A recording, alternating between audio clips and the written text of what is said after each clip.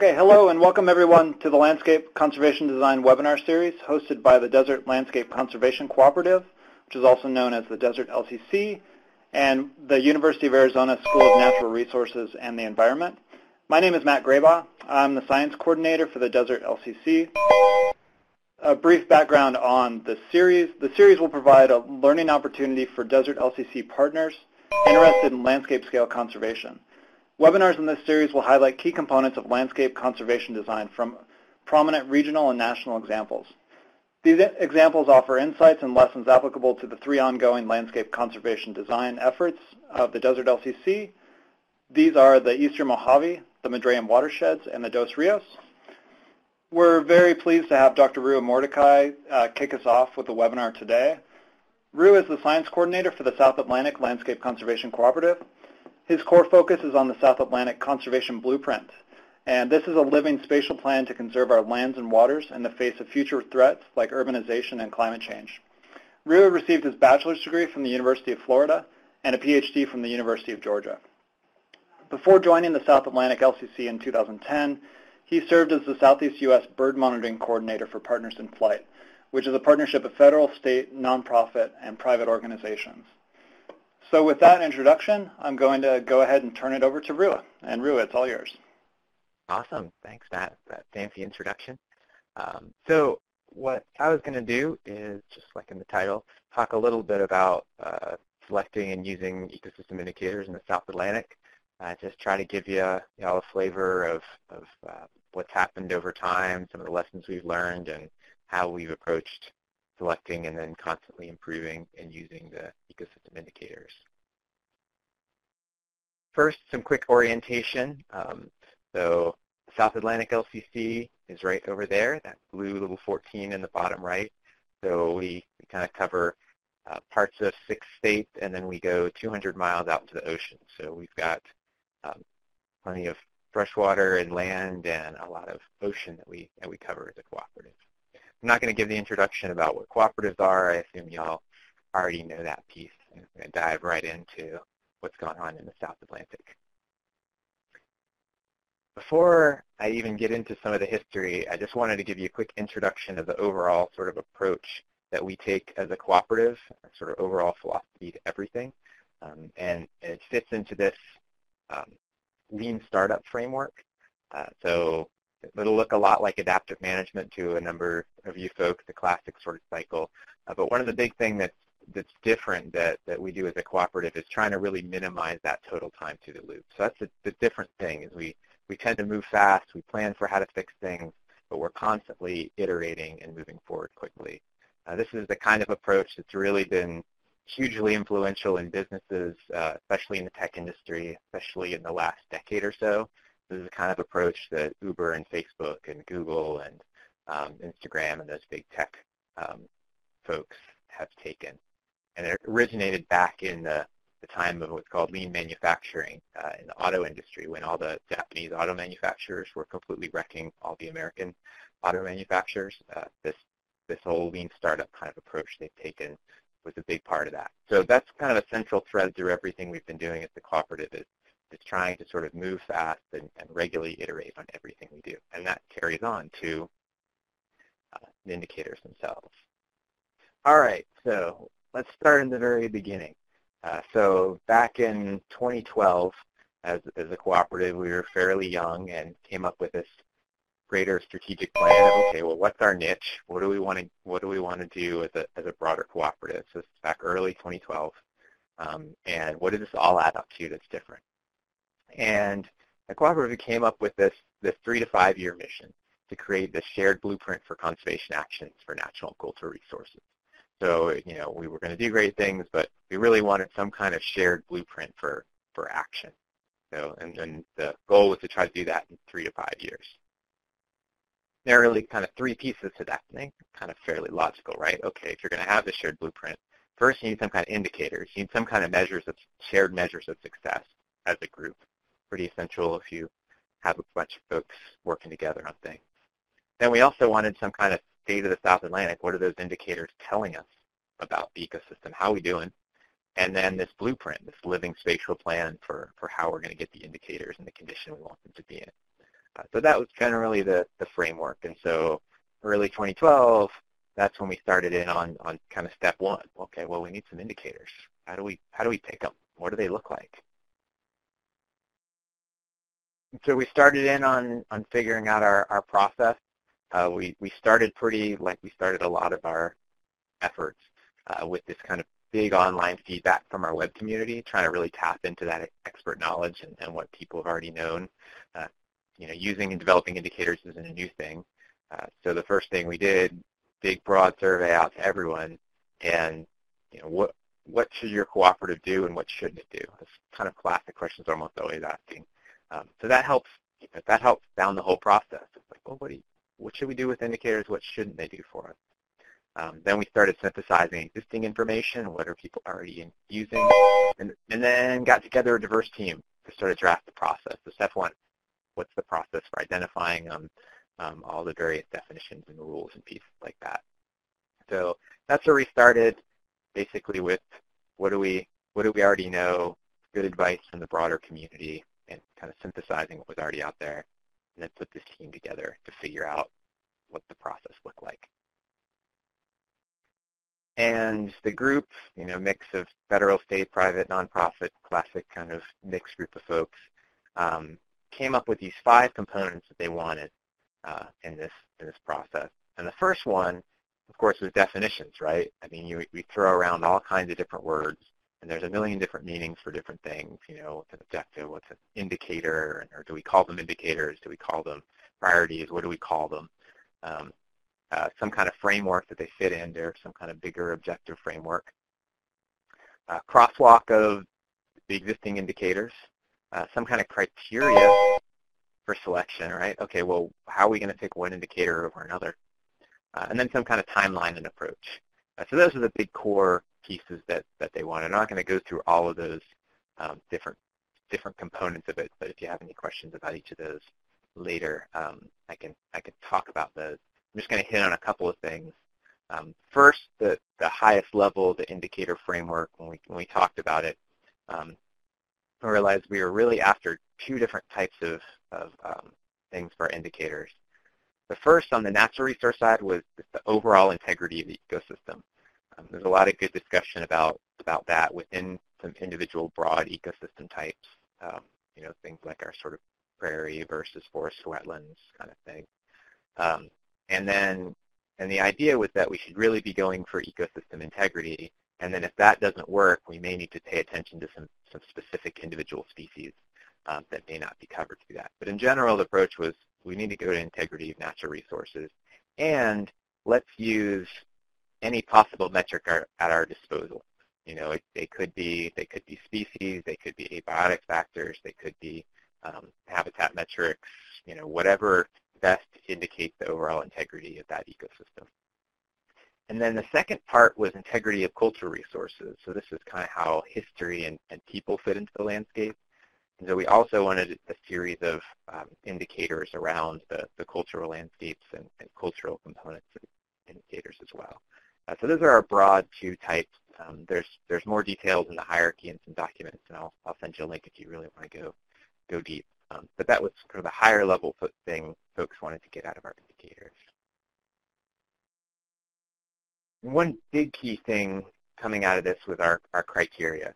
Um, I'd say, especially if you're if you're selecting indicators, really thinking and having a strong set of, of criteria for deciding, you know, what indicators need to do and and how you pick between them uh, has been really, really important over the last last few years, and I'll hit on that in a little bit.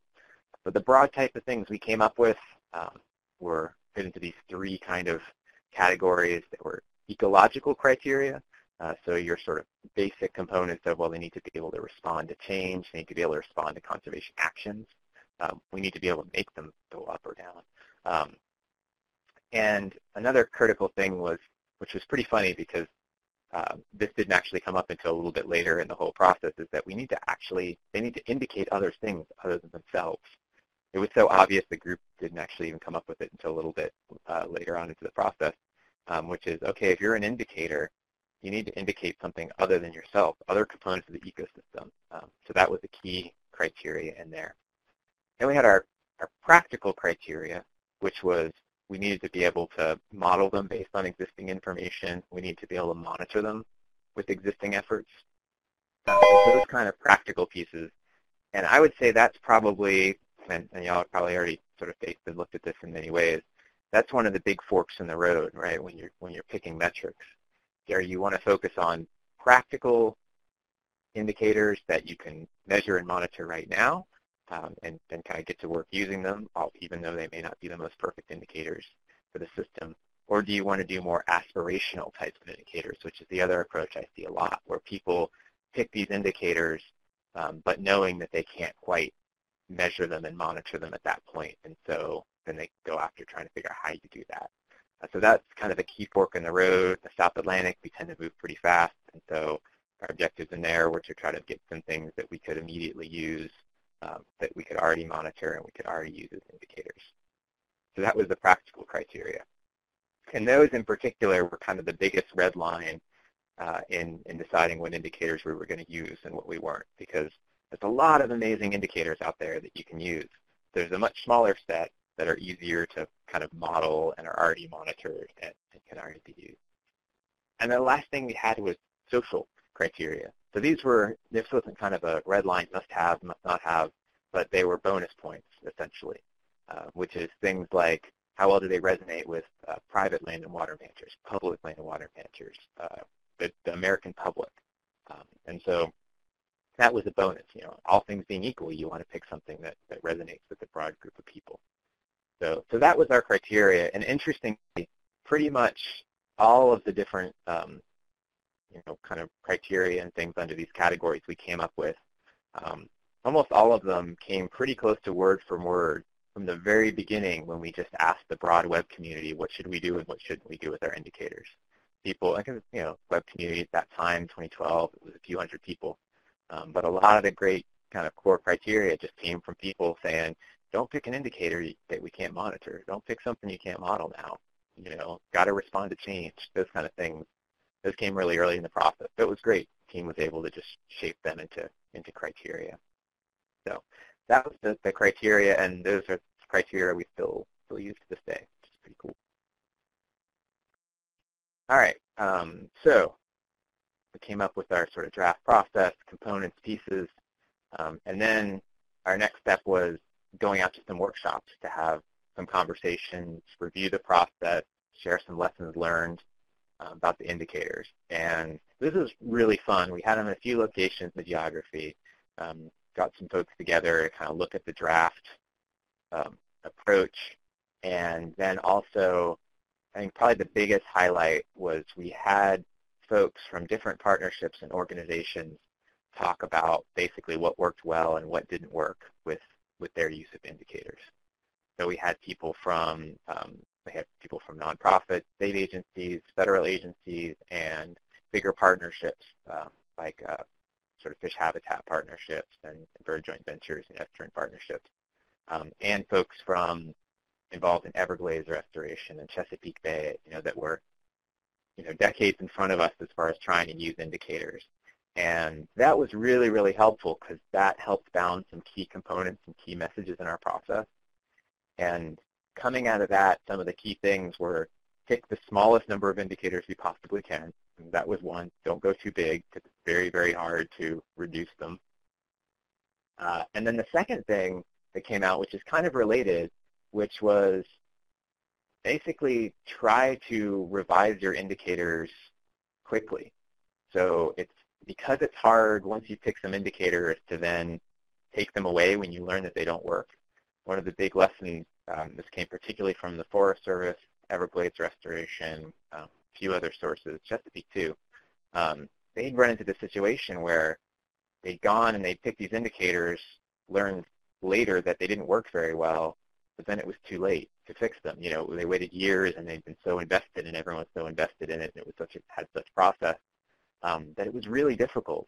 Um, they had one indicator for ginseng uh, in the mountains which is a great indicator in the mountains, except for the problem is people love to illegally harvest ginseng.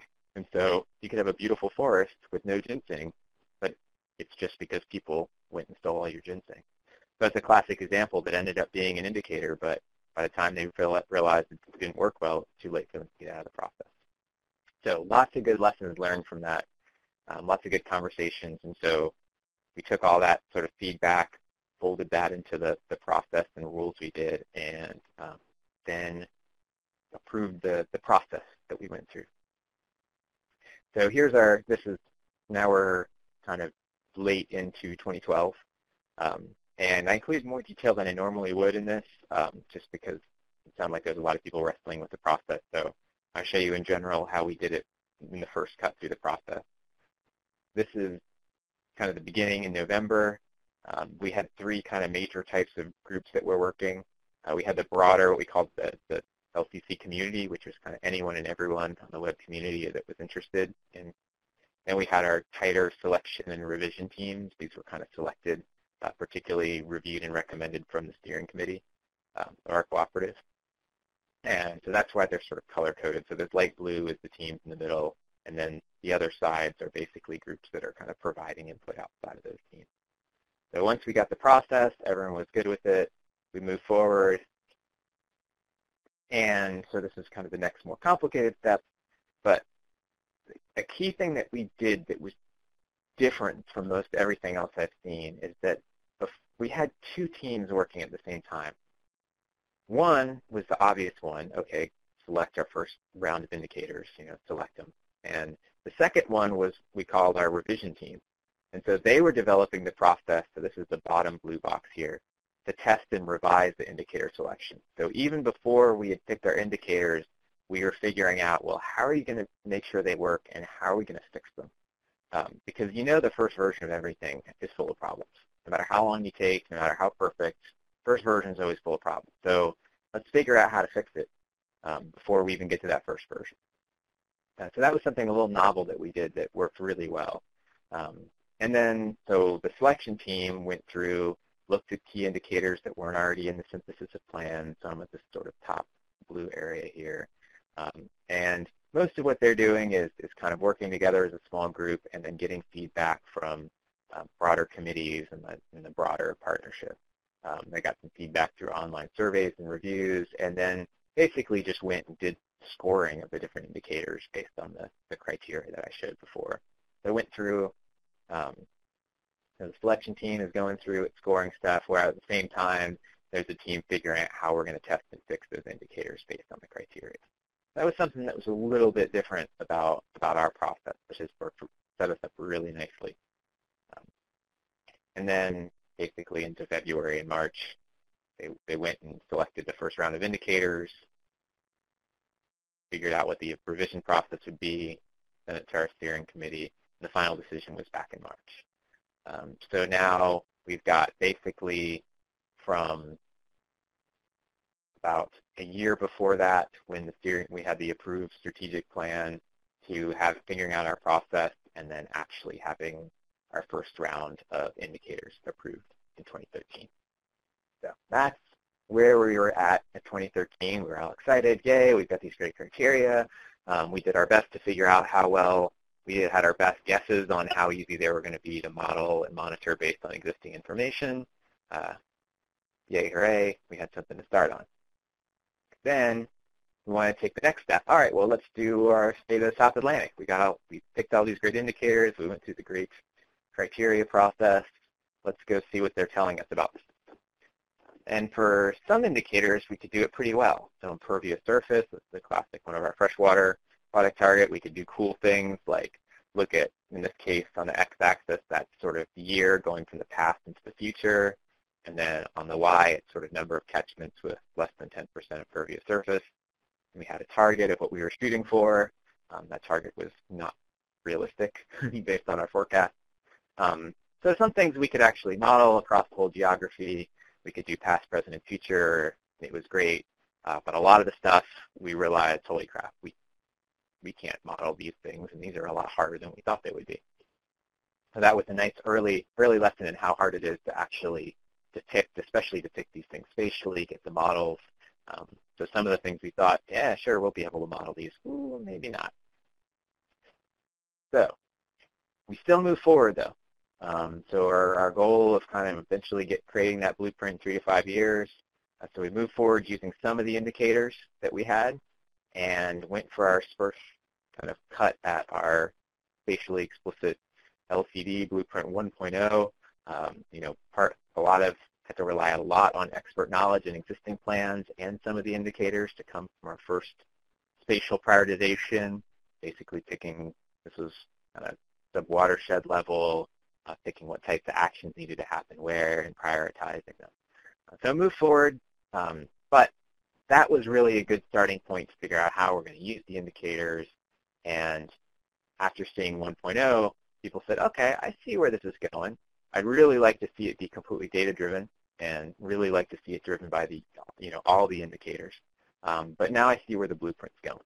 So after we had that, that first version, that was the that was the gas to say, all right, well, now we need to go through and make sure test, revise, clean up all of our indicators, make sure we can model them all, make sure they're doing what they're supposed to be doing. And so that's basically what we did after Blueprint 1. So now into leading up to late 2015, we basically went through and made sure all of our indicators that we could model them all, um, depict them spatially across our geography. And then um, and we ran into a number of things that didn't work, and when they didn't work, we booted them out and then fixed them. Uh, my favorite example of, of an indicator that, that failed the testing, which seemed like such a no-brainer indicator when we picked it, uh, was sea turtle nesting density. Um, so that was kind of, that was one of those, yeah, of, of course, right? You know, this is going to be a great indicator of beach health and nest predator communities. And so we thought, yeah, okay, sea turtle nesting density, that's going to be great. Now, it up against some other things that we expected to kind of relate pretty strongly, especially things like beach birds and other species that are pretty sensitive to the same nest predators and disturbance, we saw the opposite of the relationships we thought we would see, this sort of negative relationship where they were like, wow, when there were less sea turtles, there were more beach birds, and more beach birds, less sea turtle density. So as we were looking at that, like, oh, okay, this something something's going on. And then when we dug into the data and looked, what we found is that in a few of the states, sea turtles, especially the nests, are so heavily managed in a few of the states. And so almost all of the nests had predator guards around the nests, or the nests were dug up and moved.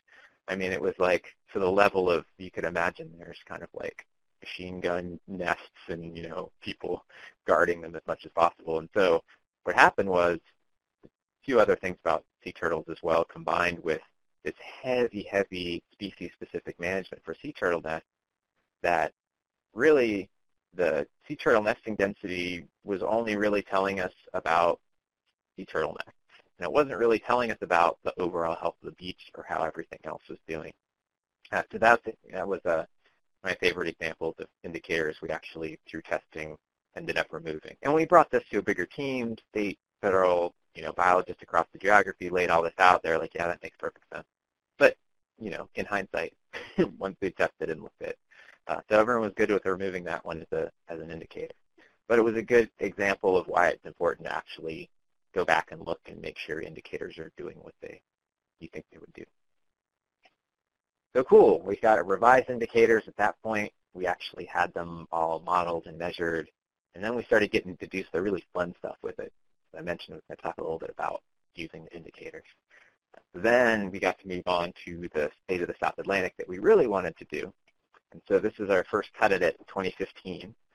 Um, and so it covers basically ecosystem health scores for all our different subregions and different ecosystems. And it's completely data-driven, completely off the indicators themselves. So all the scores are based on percent of the landscape in good condition. This first page is more the subregions, just looking at the subregions of our geography and how they're doing, and then here's an example page from uh, forested wetlands. So you see kind of the scores based on the subregions, graded to see scores for each of the indicators, the overall sort of conceptual diagram visually about what the ecosystem looks like, and then a nice little story at the bottom. Another fun thing we got to do is we, we have these little confidence bars that are like cell phone reception signals. Uh, so those are pretty qualitative, but it was sort of how confident are we in that score given the input data for the indicators and all this. Uh, so that was that was really nice. That was a, a nice slick product we were able to do once we had all our indicator modeled and then and put together in a nice, uh, compelling package to see how the, the ecosystems were doing. And then we got to move on to version two of the blueprint. So this was back in 2015, still late 2015. Um, and so here we finally got to use the indicators um, very specific way in our in our overall design. Uh, so within each of the ecosystems, we have a series of, of indicators um, for each of them. And so we use a program called Zonation to identify you know, where the highest priority places to maintain integrity across all those indicators in the ecosystems. Then we combine them all together. We use a program called Linkage Mapper connectivity in the corridors, and then get to the blueprint priorities. Now, I wasn't going to talk about all the details of, of um, the spatial design and all that component because I know that's going to be in later um, webinars, but I just kind of wanted to highlight the fact that these indicators now propagate everything else we do, all our sort of measures of success, data stop length, the blueprint, there are kind of, are we getting where we need to go measures. Then we had version 2.0, sort of darkest areas are um, the highest priority for shared conservation action. This is within Blueprint 2.0, including sort of corridors and, and other components. So this is, again, completely indicator-driven. And then at that point, it's been about three years since we had our, our strategic plan, and then we got to update our mission because after version 2, you know, being data-driven, having connecting to all the indicators, it was like, all right, well, great. Our three to five-year mission was to create a blueprint. It's three years. We got one. Now it's time for the next step. So that's when we focused more on facilitating the conservation action guided by the shared adaptive blueprint. So now it's more operational. Let's start using the indicators, the state of the South Atlantic and the blueprint um, more heavily for bringing in new conservation dollars and you know incorporation to organizational policies and all those various components. Um, the, the, basically, the steering committee, the South Atlantic, wants this blueprint to be the gold standard for conservation investment. Put it in this region. So yay, we've got an updated mission. Um, so we want to start now using all these things to change stuff on the ground. I wanted to do that before and was working on it, but now it's um, even even better foundation for that. Then we got to start using the blueprint um, for, or the indicators for a few um, newer things that we hadn't really gotten to do uh, before. And one of the big opportunities to start exploring this was some uh, new funds from the Department of Interior wild fire Resilient Landscapes. Um, so this was kind of, you know, this was money Congress for the from the National Cohesive Wildland Fire Strategy. They wanted to support big large collaboration for big impacts. And the big thing they wanted was metrics beyond just treated acres, right? And almost, especially nowadays, so many of these programs, so many of these proposals are all about quantitative metrics. You know, how does this action contribute? What's my return on investment? What are your metrics? What are your indicators? Um, and so this is a great opportunity uh, to go and work together on, on putting together a proposal and using the blueprint data South Atlantic, indicators, um, to basically as a foundation for metrics beyond treated acres. And so we actually got um, there's a funded proposal for the for the South Atlantic. Um, got, gotten almost two million dollars so far for, for prescribed fire, um, and a lot of the competitiveness and the overall proposal was pretty much wrapped around the indicators, the blueprint, state of the South Atlantic um, kind of metrics. So this was, a, I would say, as a cooperative, our first big win, the only one funded in the eastern U.S. Um, for showing how putting all these things together could potentially bring in some new conservation dollars that wouldn't already be here without it. Um, so that was that was pretty exciting, and it's also been a good opportunity to start thinking about how we can use these indicators um, to predict return on investment from new conservation funds. Uh, so that was a big key thing. So this was our, our first cut back in, in 2015 when we were reporting on some of the funds and, and what they helped out with in the in the geography. So we had here some areas where we had spatial fire extent data in our geography. And what we did was we used this scoring system we did in the state of South Atlantic for the indicators. So we have our pine and prairie indicators. This is where a lot of the fires going, right? And so we have our pine and prairie bird index. That's one of them, white quail, and blue sparrow, red cockaded woodpecker. We have regularly burned habitat. Um, so we had some things that very much immediately responded to additional prescribed fire, and some things like row, low row density areas and other metrics that didn't respond necessarily to that. Um, and so for each of them, this is the way it works in the state of South Atlantic, each of them sort of get their indicator score based on how much is in good condition, and then you merge them together into an overall score. Um, so, you know, you'd be getting B's and C's and D's, and then you end up with a C in the middle or something like that. Uh, so it's all quantitative, um, and then you add it up to these, these bigger scores. And so we can start doing stuff um, like looking at the impact of the prescribed fire that was funded through the program, right? So um, now obviously we do this for all the pixels across the whole geography or all the different fire treatments. But for a simple example, let's say you're, you're the parcel you're on right now, you know, it starts off from the pine and prairie bird perspective. Um, you know, it's got just bobwhite quail in it. It's got regularly burned habitat, uh, but not quite enough to bring in some of the other species. And it's in a low road density area after prescribed fire. Okay, well now, now that we have more regular fire, we can bring in, um, we've got an additional species from the prairie bird index. We still are working on red cockaded woodpeckers. Um, you still have regularly burned habitat, and same thing with lower density. All right, well now what, what would happen without the fire? What if we didn't have enough money to regularly burn that habitat? Okay, well, we've lost pretty much all our pine and prairie birds. We lost our regularly burned habitat. Uh, but some things don't change, like low road density. Um, so this give us an opportunity to start moving and, and predicting, well, okay, how, how is different levels of investment going to help raise the bar with the different indicators? So this is our predicted impact of prescribed fire in those areas. The sort of previous condition was a B, A minus after the fire, predicted without fire, an F. These systems need regular fire; they're completely hammered. Um, so that framework was really, really, um, it was it was helpful in kind of reporting back and generating buzz on the program, but also helpful for us as a cooperative to start thinking about, um, you know, have some more tangible examples of how we're going to want to connect different actions to, to indicators.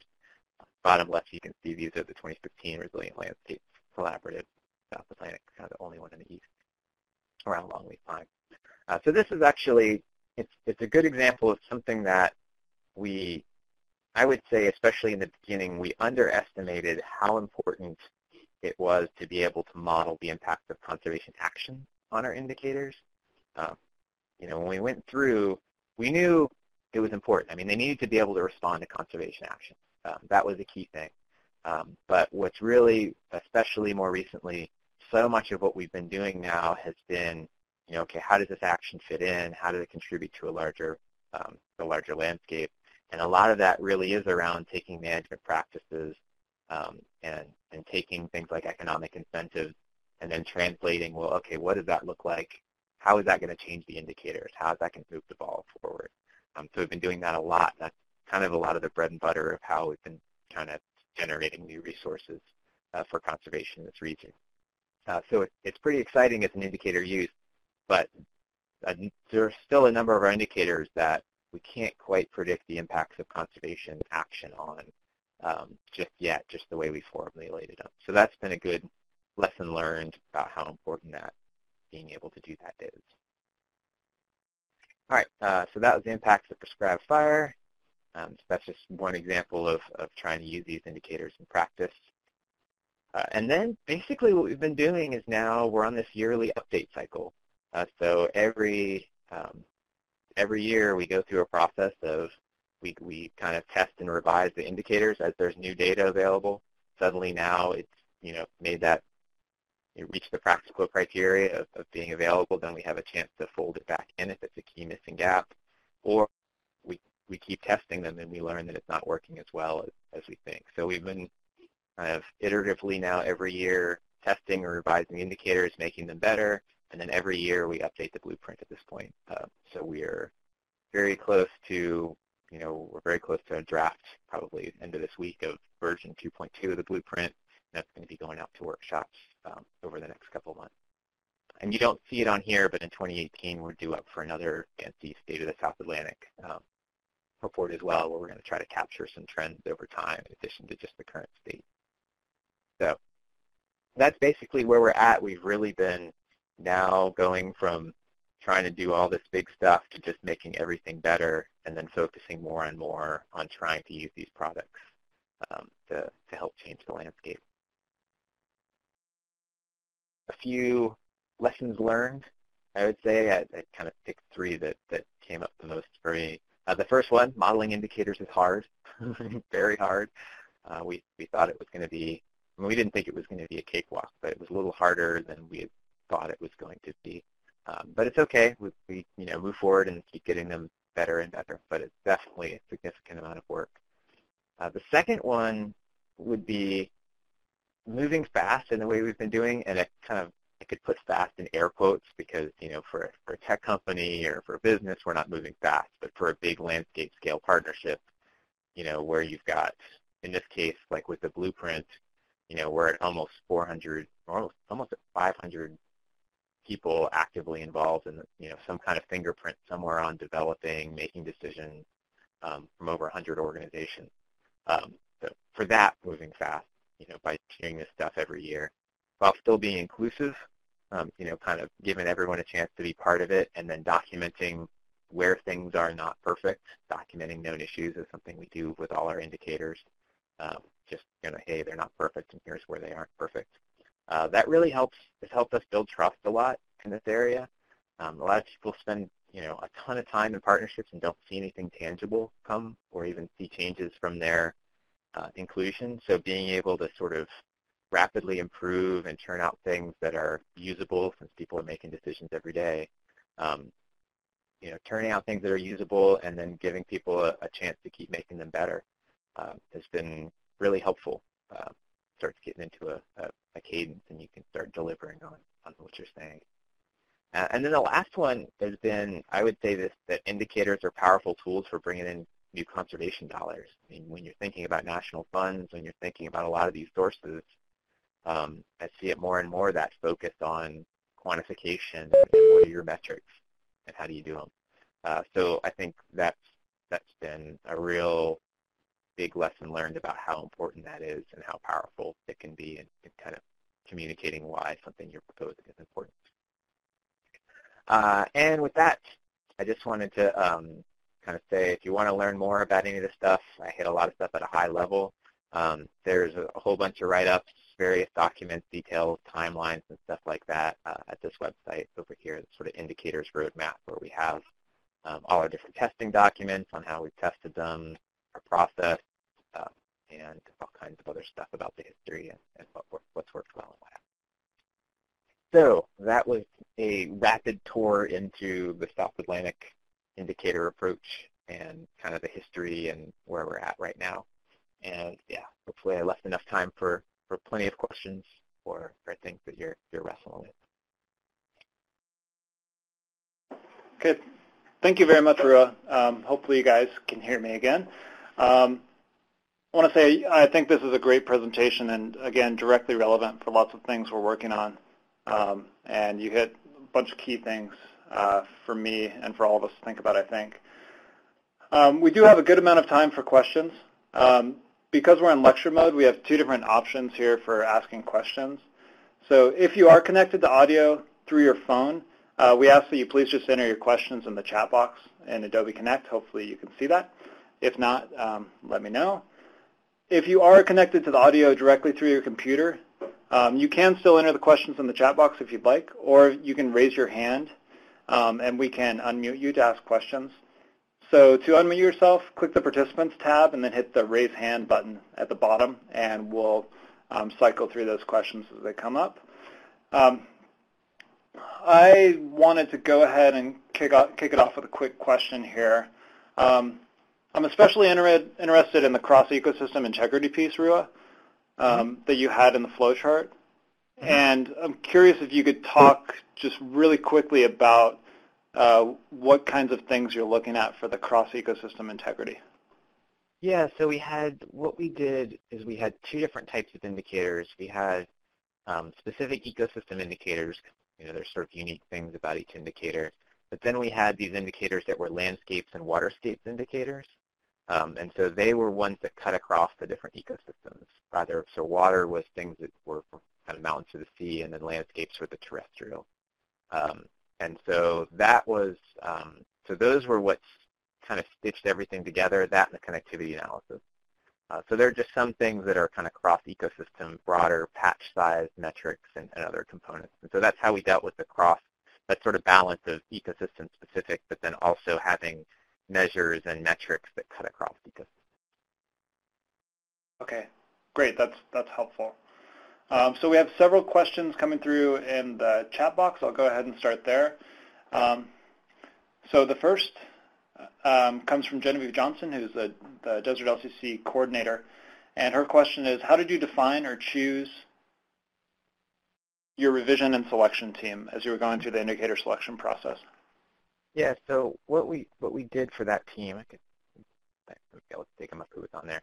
Basically, our approach for that was we wanted to get a diversity of organizations and ecosystem-specific expertise.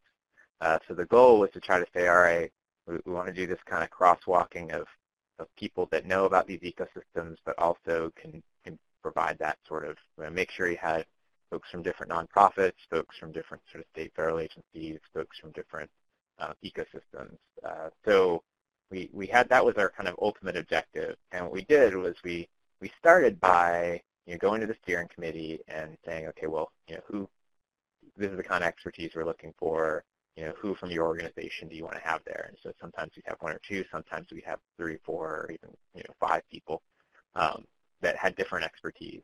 Uh, and then what we did from there is had some other people that may not from organizations that weren't even on the steering committee or would fill key gaps.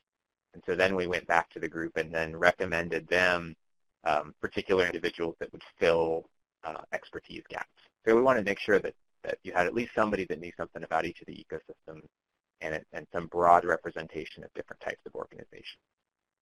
So that was that was how we set that up. It was really, you know, let the steering committee organizations have people they trusted, then fill in um, gaps in expertise from other organizations or other people, then recommend it back to them, and then they kind of gave it the thumbs up um, for that group. So that's how we that's how we did this.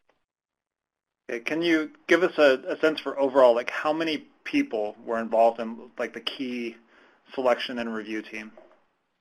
Uh, they were, ooh, that's a good, um, I'm going to, around, I could find the exact number here.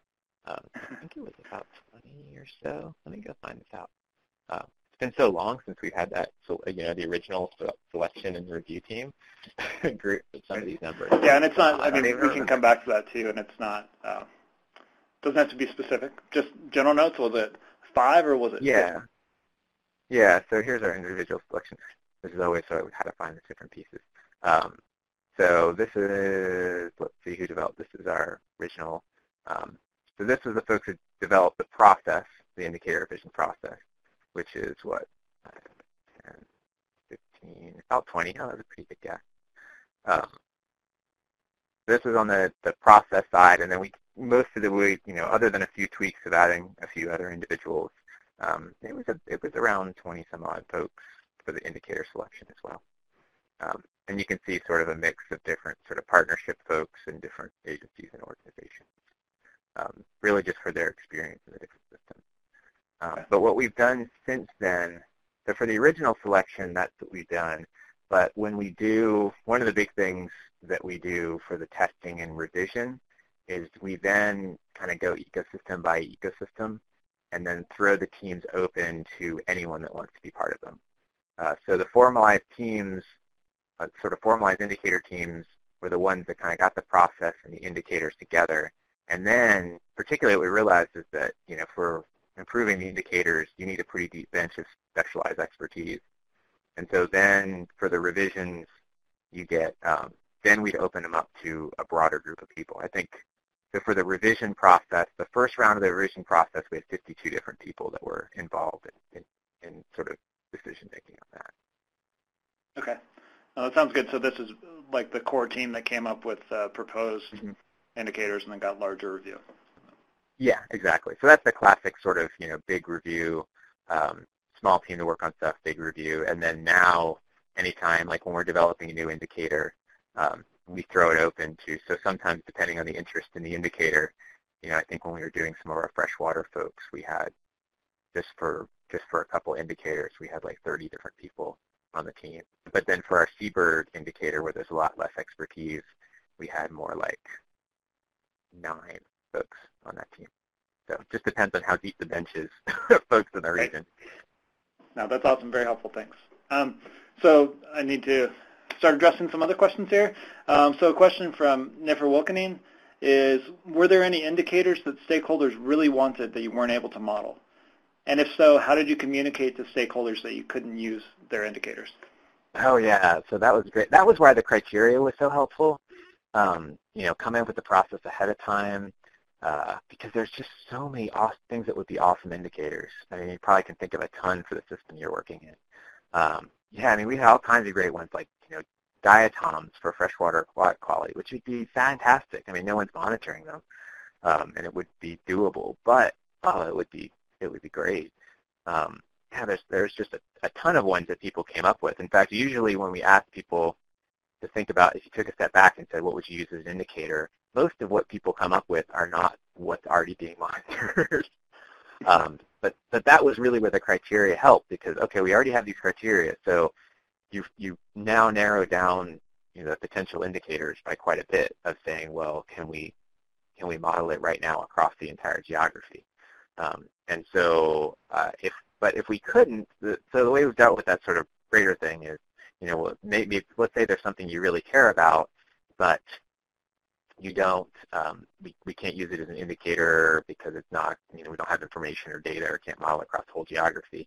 Uh, then that's what we deal with in our sort of uh, testing and revision process where we say, okay, well, let's take some data from some of these places where we can do it and then see how well the indicator works. Like, is your, is your metric covered um, with this indicator or is it a key missing gap? Uh, so that's one thing that, that's helped a lot is sort of, um, you know, seeing whether the indicators, in a lot of cases, they work fairly well on some other things. Um, I can pull up, uh, well, I can pull up if there's time, uh, some examples where we did sort of fish communities and benthic invertebrates in our freshwater aquatic indicators. And so we took the GIS models and then did point level, tested them on point level sampling data throughout the geography to show that, oh, actually they're, they're working fairly well. Um, and the other thing, too, is that because we have these criteria and this regular revision process, the door is always open if data are available. Uh, so um, the, the marine bird example I gave before, um, you know, folks thought that would actually be really great for looking at productivity hotspots and forage fish out, out in the ocean. But until basically three months ago, uh, there really there wasn't sufficient data to have marine birds as an indicator in our marine ecosystem. Um, and we were short an indicator. Um, because of some of the testing and revision we did before. So we only have so many we can have per ecosystem. Uh, and so, yeah, this cycle we were able to like, oh, there's new data. So it's not a complicated decision. It's, you know, we have this criteria. So it's not my personal decision. It's not a squishy area. Until it meets these criteria, um, it can't be in. But once it does, yeah, all right, then we can then we can talk about it. Cool. That makes sense. And actually, I think that ties into a couple questions that I'm going to try to combine here. Uh, so folks, feel free to put in additional comments if I don't don't address this correctly. But we have a, a comment that I'm going to combine from Amanda Webb and Mo Carell, um, talking about the indicators on the ground. So the the first question is, was there any ground truthing of the modeled indicators, which you kind of touched on just now? And then a related question, I believe, is if so, who helped with testing the indicators in the field? Mm, yeah. Um, so actually, so I can pull up since I just had this up. Um, so we have in that roadmap the link that I sent before. Um, we have some of our criteria testing up here linked. Uh, so the, the first round of testing um, on, so most, I would say most of our validation of our, our models uh, is point level monitoring data. Uh, but generally they're sort of already collected by other organizations. You know, we use data from we use data from natural heritage. We use data from um, some EPA assessments, from other state assessments. We kind of grab the data wherever we can. But that's kind of the ultimate, you know, the ultimate benchmark of like, yeah, you got all these great fancy GIS models, but do they actually work? When all these errors are compounded, do they actually work in practice once you get down to like actual point level sampling? Um, so the, the, first year we actually um, had some folks from NatureServe and NC State do the testing, um, doing it over across a lot. So this is sort of the, the 2014 to 2015 indicator testing that's linked up on the website. Um, so that was a lot of heritage data, um, and then there's a few other GIS layers uh, in that part. And so that was where we actually did some of these testings of, of different metrics and how well they worked. Uh, and then the moving onward now, like for instance, the last year's testing was stuff that um, indicator testing was stuff that I did. Uh, so we've been doing that as staff and kind of folding it into the indicator process itself. So as you're developing and, and testing indicators, you go through and then and we kind of have a process for doing that. So I've been doing that uh, in-house. And so these are just a few of the examples. Um, and so this is just some of the, the documentation of us testing the indicators itself. So this is some of the data we use from the EPA Rivers and Streams assessment to look at fish and, and benthic index. So point level sampling, then we go through and then we actually test it um, based on the different conditions. Uh, so yeah, it's, it's mostly mostly point level stuff, and we get it from, from sort of various places. And now at this point, I'm the one that does a lot of the testing, but it's fun. Okay, great. Um, we're going to go ahead and jump to the next question here, um, which I believe is from Larry Fisher from the U of A. And the question is, can you give us a sense for the total number of indicators and how they might break down in terms of categories? And Larry, I might have asked to clarify what you mean by, by categories here. Um, and then I guess I'll give you a two-part question. Real, hopefully this isn't mm -hmm. too much for you, but um, then the second part is you mentioned that you're reviewing the results on an annual basis. So the question is, how are results shared and discussed among partners, used in decision making, and how are they shared with the wider public? Yeah, so um, at this point, I'll start with the number and then go to the annual basis and how results are shared. Uh, so um, this is of here is the list of the current indicators. Uh, you know usually 30 or less indicators for each ecosystem, um, and they're a what, what happens is our cultural and natural resource indicators um, are uh, mixed together at an ecosystem level, and because that was a key thing with a lot of the cultural resource professionals um, and in the discussions was they didn't want the, sort of natural and cultural, um, because of those connections, they felt like it would be important to have them coupled together. Um, so we have a number of issues where, you know, at the landscape level or within ecosystems, uh, so our low urban historic landscapes, one of our cultural indicators, is a landscapes indicator. It drapes across all the systems. Uh, so this is about where here's our here's all our current indicators, and actually probably in a few weeks there'll be a new marine mammal indicator in there. Um, so that's that's about your sort of level of indicators. We tried to keep it for ecosystem specific, as you can see, um, at least for natural resources indicators, a maximum of three per ecosystem and then a few of these, then there's like three landscapes, um, three waterscapes maximum uh, per ecosystem. Uh, so when we're able to add, because in some cases we only have two that work really well. So that's about the level number. Um, and how we communicate that, uh, generally what we do when we're, if we're going to, not generally, always, uh, if we're going to be updating or improving an indicator, uh, we send that out through our, um, out to our larger web community. It goes out in the newsletter you know, hey, anyone want to be, you know, we're, we're going to be updating, improving this indicator. Anyone want to join the team? Basically, everyone gets a chance to be part of that group. If you're part of the group and you're interested, then you get to be in more specific discussions. It's all consensus driven, so then you get to be part of the decision of whether that, that revision is good enough. And then we kind of keep everyone updated through the um, the broader community. So it goes out to the newsletter, okay, now this is updated, here's the improvements, um, all that other stuff. Uh, so it kind of happens in, in, dynamically spun off groups for each indicator. Then people find out about it through the through the newsletter. And sometimes there's specific individuals, if we're missing their expertise or might not get that, that we'll invite separately. Um, really communicating with the public, we haven't really been doing a lot of that because our biggest focus is more on the conservation community, um, conservation professionals, um, the closest we have is that State of the South Atlantic that I was showing before, um, which is actually written in a way that um, is consumable by the general, and kind of try to keep it in plain language, make it very accessible, um, and it has been actually used by some folks at a pretty broad, a broad level. Um, and yeah, so that's that's been more of the forum. And the other component, which is pretty fun that I didn't talk about, is that we also tested um, how well the different types of indicators resonate with the American public through some stratified sampling, um, some folks at Duke, so this is the, the social criteria testing. Um, the big thing we were going after was this question of, well, what types of indicators are going to resonate most and what kind of knowledge do people have of the indicators?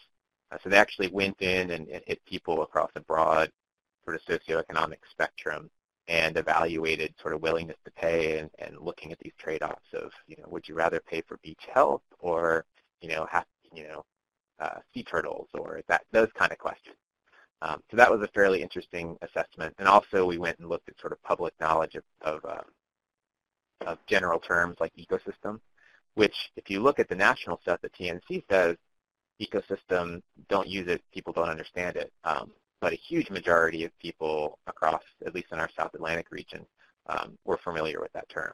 So, you know, some regional differences in, in what some of the, the surveys say. Did I hit everything?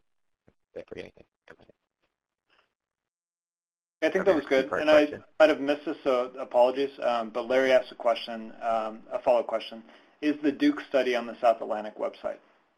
Yeah, that's the. You're talking about the, the American Public one.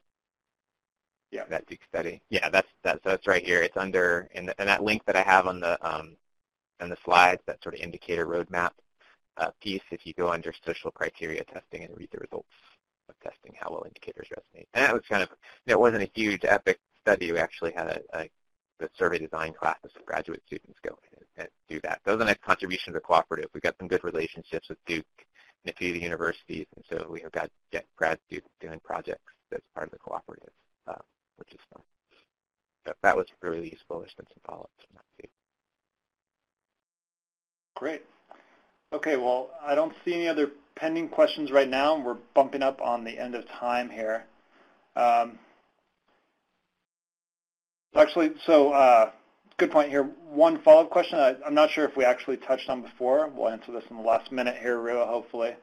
Um, the um, the question was getting back to ground truthing of indicators. I wasn't sure mm -hmm. if you specifically talked about ground truthing or did you just analyze data that were made available? Hmm. Oh, so you mean ground truthing, so it's sort of like, are the indicators like actually going specifically proactively to some places to see if the indicators um, are in the condition they say they are.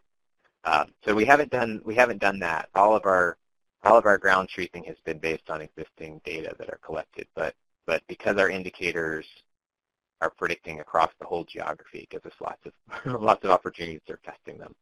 Um, but I mean, these are still again, even though it's been a few years of refining and improving, it's a pretty broad region. So there's a kind of early days on on how we do things.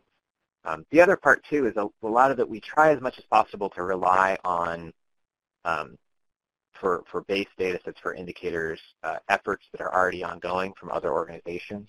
Uh, so the, like for example the, the Nature Conservancy's terrestrial resilience, um, their sort of resilient site stuff, uh, we use as sort of our resilient biodiversity hotspot metric. And so a lot of those undergo pretty extensive testing as well um, based on point level sampling.